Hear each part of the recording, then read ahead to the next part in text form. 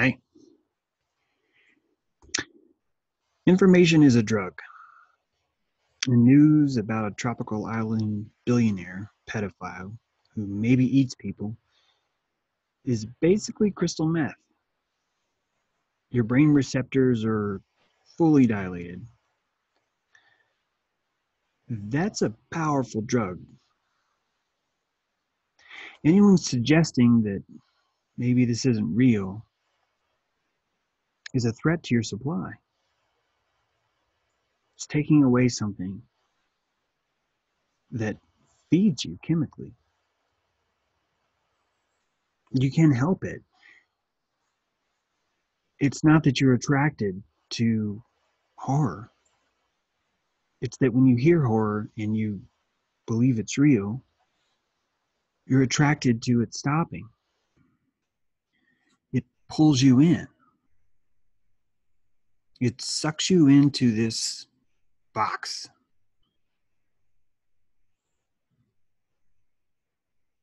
Some would call it a cube.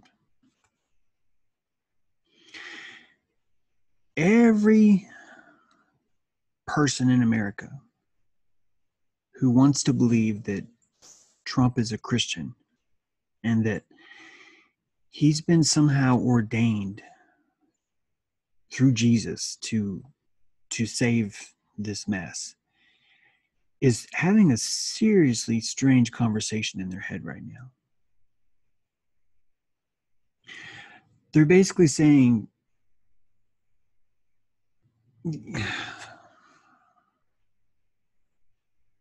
I don't even know how to get into it. They're basically saying, so what's a little exorcism between friends? All of Trump's children have converted to Judaism which is is fine. It's to me they're all Abrahamic anyway. They're, it's it's under the same tree. I I don't actually.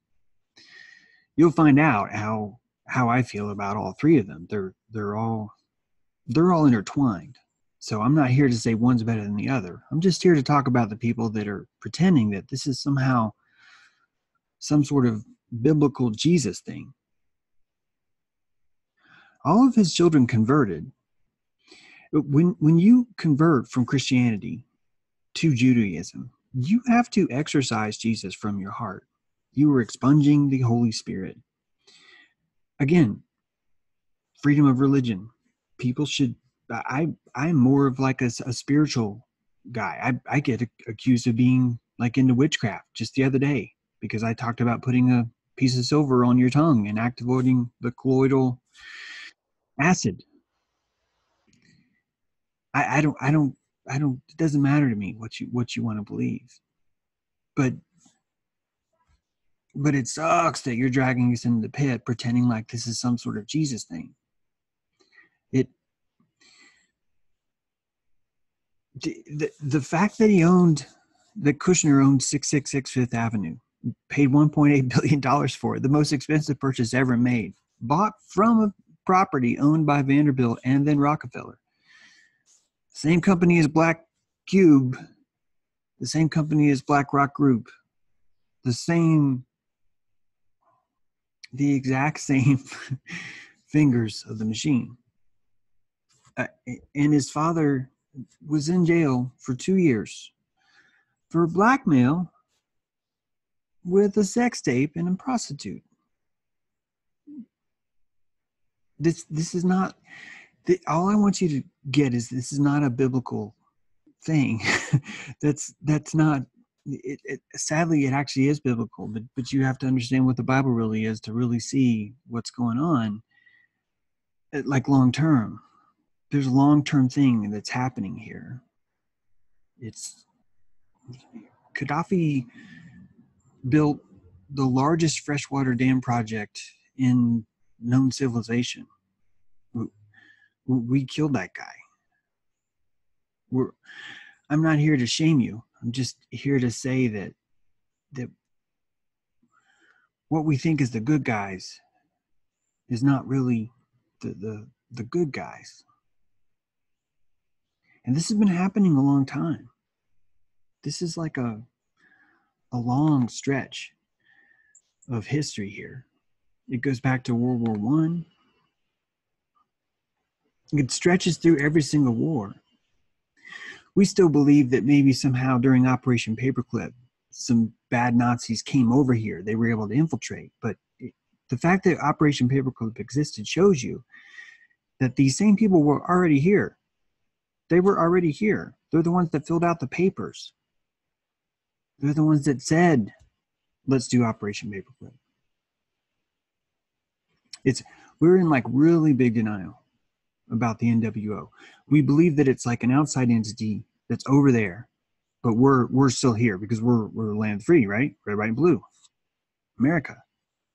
America's a beautiful name. Land is beautiful. I, I love that we're connected to the land. I, I I want to us to connect to the land more. But think about it. What would the NWO look like? It would probably push a globally enforced currency like the petrodollar. Probably enforce that with missiles and war. It'd probably destroy any nation that didn't have a central bank. Keep in mind, this, this sounds familiar, right? They probably have the highest incarceration rate out of any other nation. They probably have like three letter agencies that were responsible for mo- more drug trafficking than all than all the local gangs domestically of drug trade. They probably the same NWO group. They probably want to surveil everyone. They probably want 5G. They probably want 6G they want the NDAA. They want to background check everything. They want your blind trust, but complete control over social media, your freedom of speech. They want everybody to get their shots. They keep quiet about JFK and 9 11. They want you to see them as a global hero as a uh, a bastion of some great virtue, like like freedom. They own all the media. They own all of Hollywood. They would look exactly like America looks now, doing exactly the things that America is doing now. It's it's crazy how deep of the trance we go into. We're fed chemically that this is the land of the free, that we're the good guys. Anyone that challenges that chemical is a threat to your supply. We, the people, will beg for the NWO. Most of us already are. most of us are begging right now they feel intertwining with another country is the answer to more freedom when this happens it, will sound it'll sound nice. Everyone's going to beg for the nwo it, it'll sound something like to fight the plague of human trafficking around the world america with its allies will take on a new role. We must protect our children. We must fight this evil as we were called to do in world war ii it'll sound like that. It'll be aligned with fighting Nazism, which is yesterday's racism and tomorrow's white supremacy. All of these filters are already in place. And we're happy for them. When I say we, I'm talking about the majority. we have to decentralize. It would be so awesome. Under sovereignty, each state could maintain their own Google search service. It'd be like a voluntary form of government. Imagine if each state had their own Google with their own Wayback Machine. Isn't that what a public library is supposed to do? So why why is the library not doing that? Why why is there not a candidate that's like, hey, I have an idea. Let's start a uh, a, a new kind of, of public information service. Let's let's guarantee that that service is going to have free speech for anyone involved. Let's make that the bastion for the Bill of Rights. Then we can then we can say, yeah, that's just a private company because there's a public service that's doing it right here. These are the ideas of voluntary, unanimous government. It's all doable, but we're not going to get it under the system we have now. No one, no one's going to get elected with the idea I just told you about. It, it would be insane to even run. I've, I've, I've seen this work. You're not going to be able to push decentralization inside a centralized machine. Countries aren't aren't what we think they are. We think it's all in DC, but no. Most of this is more about you see more of the body of, of the Leviathan in media. We don't understand that media really is the government.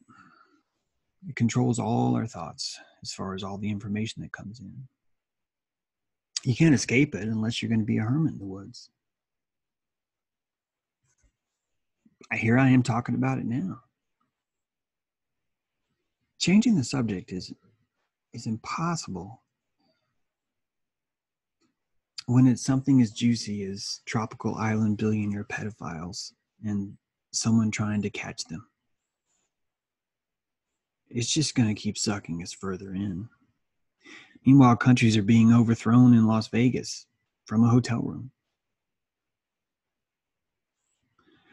Even good dissonance, like dissonance that feels good, is dissonance. And that's that's where a lot of responsibility lies on us. We have to divest from this stuff.